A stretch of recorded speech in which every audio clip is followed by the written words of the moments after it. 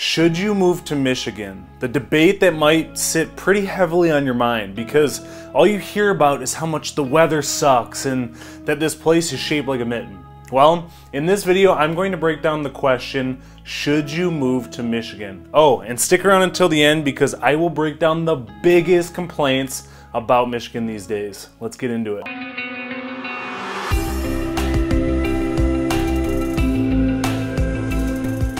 Before I jump into breaking down this question, I want you to ask yourself why you're asking the question in the first place.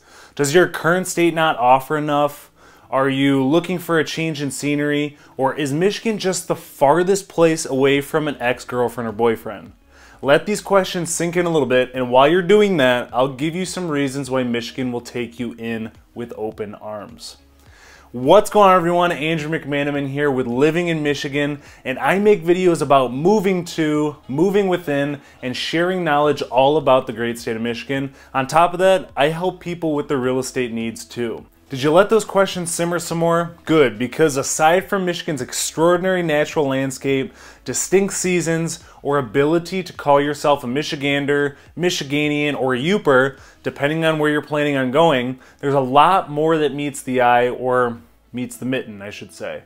It's time for you to get some real insight about living in the state of Michigan because you typing that question into Google most likely gathers feedback from sources and people not even in this state.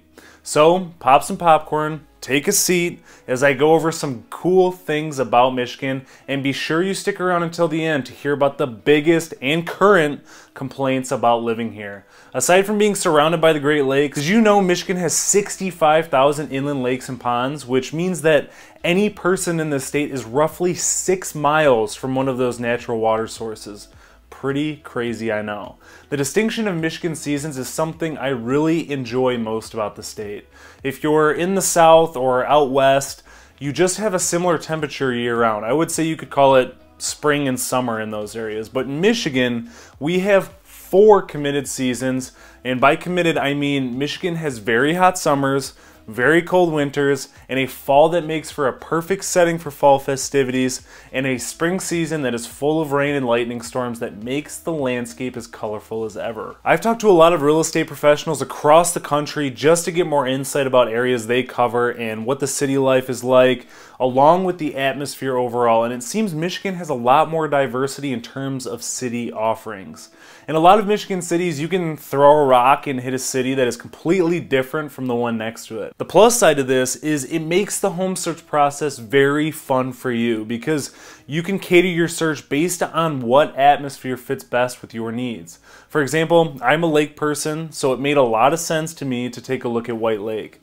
It buddies up pretty close with West Bloomfield Township, which is literally nicknamed Lake Township of Oakland County. I can drive a few miles down the road and pass six all sports lakes. In the warmer months, I see people wearing bathing suits to gas stations, popping the tops on their Jeeps, and hauling their jet skis, which is just an awesome thing to see all the time.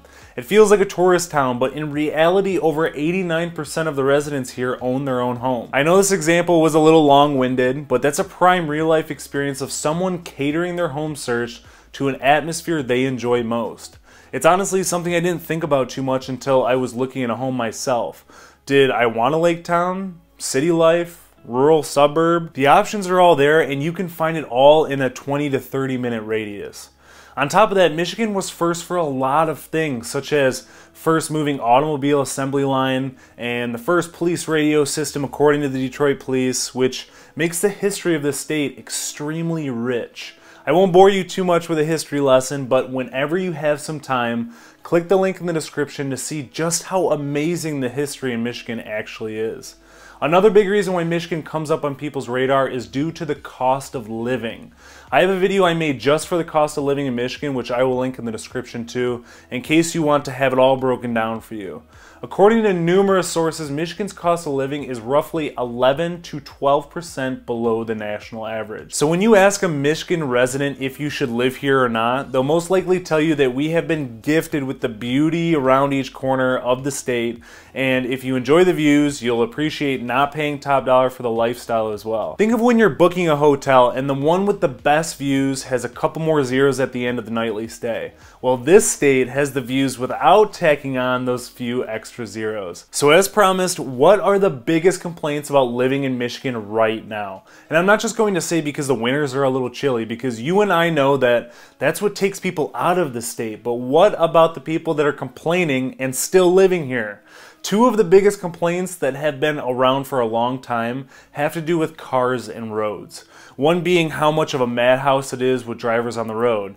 In Michigan, the expressways are 75 miles per hour for the most part, but that means somewhere around 80 to 85 miles per hour for the most part. There's no fast lane, slow lane, or passing lane. It's all fast. And if you're going the speed limit, you're probably going to be tailgated, flashed with brights, or angrily passed. What's interesting though is this is something I noticed for some expressways and not others. Some are calm and civil, and others you need to foil up the knuckles for road rage. What are you guys doing? Putting on the foil every game. Yeah, you want some? All jokes aside, it's like this in a lot of other states, but it seems to be a huge complaint in this state. On top of that, the roads are in need of some help, to put lightly. You can look up memes on Google right now and see how we are referred to as the Orange Barrel State due to the constant construction happening. My perspective might be a little off, but orange barrels just look like improvements to me. And if they're taking the time to redo roads and sidewalks all over the state, it's more than some other states do who don't even bother to take care of the issues until bumpers are falling off their cars. I'd have to say the biggest complaint as of late has to do with Michigan politics. I won't dive too much into this because I don't want this channel to be political, but with COVID causing parties to make certain decisions for a pandemic, they couldn't pinpoint the best plan of action, along with some contradictions here and there, it pushed a lot of people to the edge. This is a given in a lot of states, but like I said, it's a common complaint here. Another big consumer complaint that has actually been on the top 10 list for numerous years is telemarketing. I don't know how bad it is for people in other states, or maybe it's just the fact that my phone number is all over the internet, but I get at least six to eight robocalls a day. You can block every single one of them, but Catherine, with some insurance provider, still manages to reach me. The last complaint I'll mention pertains to Michigan car insurance. For the Michigan folks watching this, you already know where I'm going with this, but for you out of staters, I'll let you in on a secret that's not so secret. Michigan structures their insurance to allow insurers to cover medical expenses even if the accident wasn't your fault. Michigan also has lifetime medical benefits with personal injury protection. There's pros and cons to this method, of course. Less lawsuits, less worry to get medical expense help. The downside of this is Michigan ranks one of the highest, if not the highest state with the most uninsured drivers, which makes sense when it's much more expensive than the other states. The insurance options have opened up a little bit, but it's still higher than most states. Question of the day, after watching this video, what are your thoughts about Michigan? Drop your thoughts in the comments below. If you're still back and forth about making the jump to living in Michigan, feel free to reach out to me anytime. Someone who has lived here for well over 20 years to help with your decision.